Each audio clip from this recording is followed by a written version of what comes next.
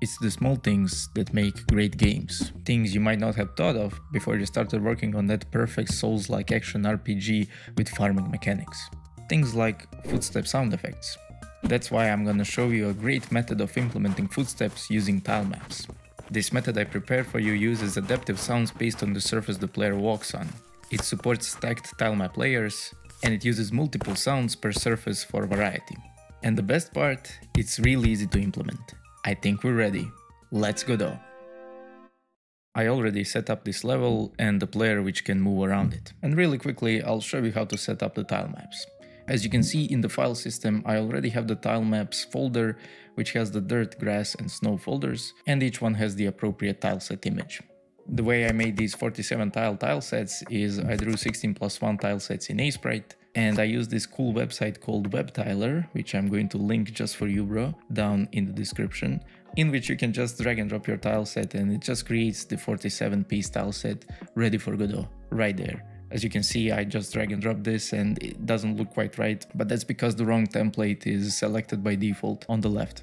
If I select the 16 plus 1, boom, that's the tile set ready for Godot if you don't want to create these tiles yourself, I've been extra nice to you this time around and I actually created a GitHub repo for this project so you can find these tile sets and the sounds we're gonna use later in there.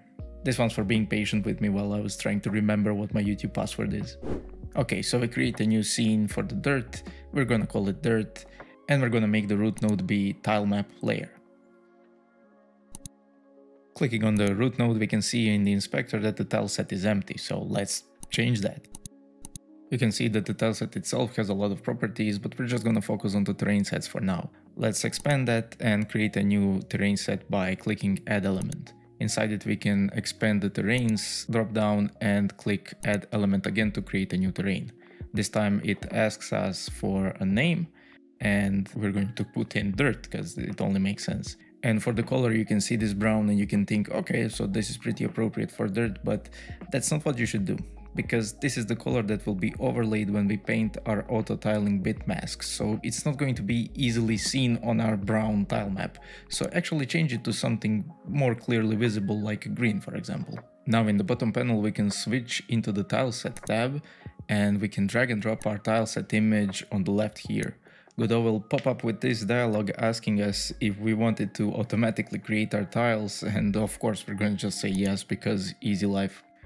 Now we switch into the paint tab where we can choose which properties we're going to paint over our tile set. Here in the dropdown we're going to choose terrains and this will prompt us to pick a terrain set and a terrain. So we only have terrain set 0 and the only terrain we have is dirt. Now you can choose the tiles which will be affected by this terrain and if you're using a tile set like this one it's going to be all of the tiles so just paint over all of them.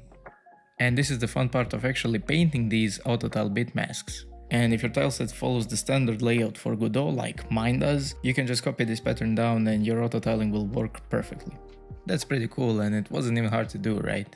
But now I'm gonna show you what tile maps are really capable of. Collapse the terrain sets dropdown and expand the custom data layers. Click add element and this is going to add some new custom data to the tile map.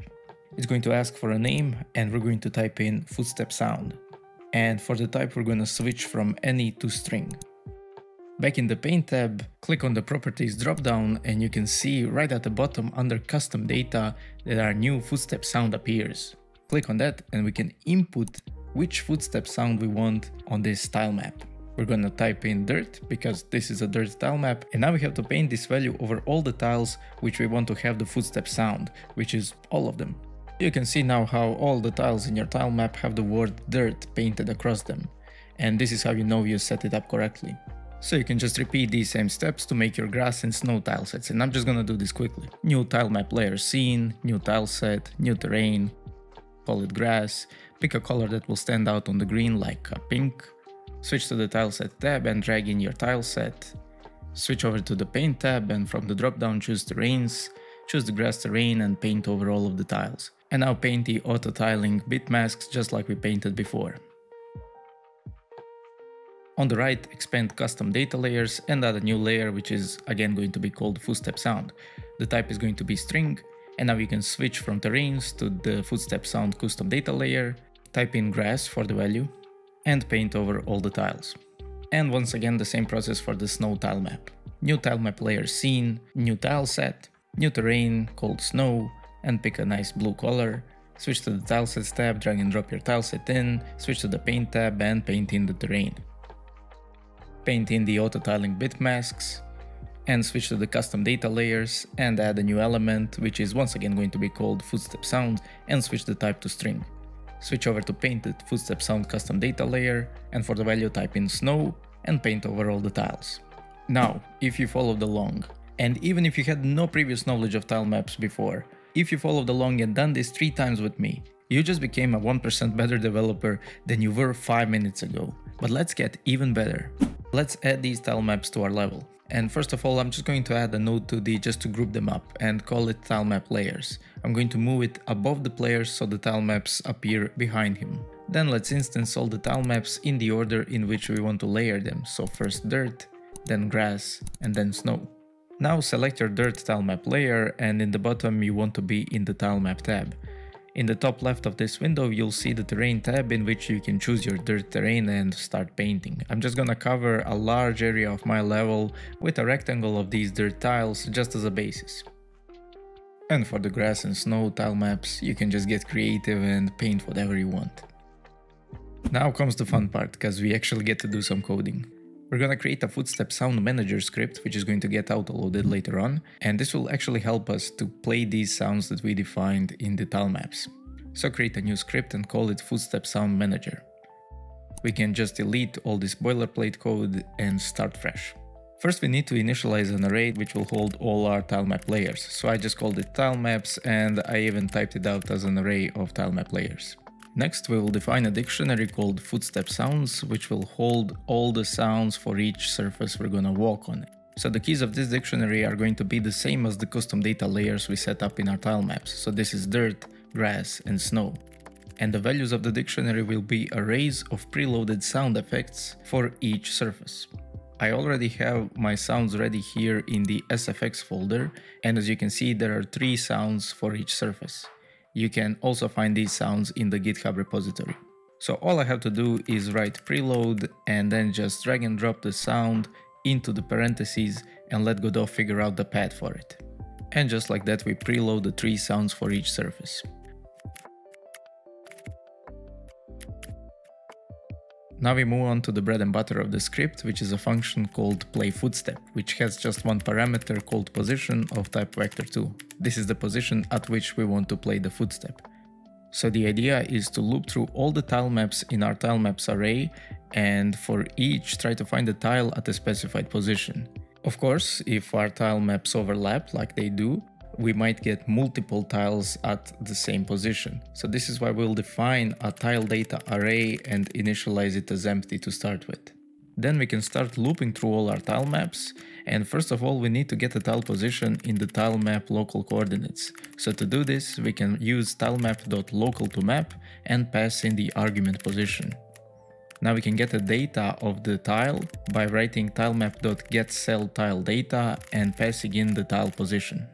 If we get any data, in other words, if there is a tile at this position, we can just add it into our tile data array. Outside of the for loop, we can check if we found any tiles. In other words, if tile tiledata.size is greater than 0.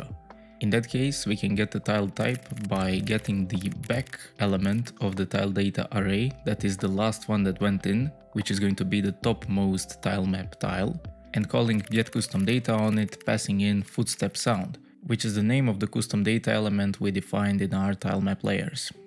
Just to be sure, we should check if our footstep sounds dictionary even has this tile type key in it. And if it does, we're gonna create a new audio stream player 2D. We're gonna set its stream to footstep sounds at the key tile type dot pick random. So we'll pick one of the three preloaded sounds we set up in the dictionary. Then we're gonna add the audio player as the child of the root we're gonna set its global position to the passed in position parameter and we're gonna call play on it. We should await the audio player's finished signal and after it just queue free the audio player. Now we should autoload this script and you already know how it goes. Project, project settings, globals, autoload tab, click on the folder icon, find the footstep sound manager.gd, double click it and press add. Now the script is available from every other script in our project, which is great because we're gonna need it. And we're gonna need it for two reasons. The first is that tilemap array is empty and we need a way to fill it so we can actually do something with our footstep sound manager. And the other is to call that play footstep function, which is going to happen whenever our player takes a step. So how do we fill up that tilemaps array? Well, it's pretty easy if we just add a script to all our tilemap layers. Create a new script in the tilemaps folder and call it footstep tilemap. Also make sure that it inherits from tilemap layer. Inside the script, we're just gonna keep the ready function. And here we're going to access Footstep Sound Manager's tilemaps array and call pushback on it and pass in self. So we basically just added the tilemap layer on which the script is attached to, to the tilemaps array of the Footstep Sound Manager. Now we have to attach the script to every tilemap layer we created. So the same script goes on dirt, same script on grass, and same script on snow. And with this we finished with our footstep sound manager. The last thing we have to do is adjust our player's animation so it plays the footstep sounds at appropriate frames. In the player script I will scroll past all this code, this is just normal movement code, nothing special, but at the bottom I will create a new private function called play footstep. This will be another simple one-liner. We only call Footstep Sound Manager's play footstep function and pass in the player's global position. The only purpose of this function is that we can call it from the animation player. If I open up the animation player and switch to the player's run animation, you can see I have this very simple 6 frame animation. Now I'll find the frames in which it's most appropriate for the footstep sound to play. And for me, it's going to be this third frame because this is where the player impacts with the ground. You can see his foot is touching the ground. So let's add a new track and choose the call method track. Godot will ask us which node's method we want to call here and that is going to be player. Then we can right click and press insert key. Godot then asks us which method we want to call and we can just pick our play footstep method. Nice. Now I'll just move on to the sixth frame, which is also a frame where the player's foot touches the ground, and I'll just copy and paste this same call method keyframe. Now if you've just watched the video and you didn't code along, go back and code this with me. This is how you actually grow as a developer. Yes, just watching the video does make you a slightly better developer because you picked up on some ideas here and there, but the substantial growth comes from doing the work yourself. YouTube thinks you like this video as well, so check it out.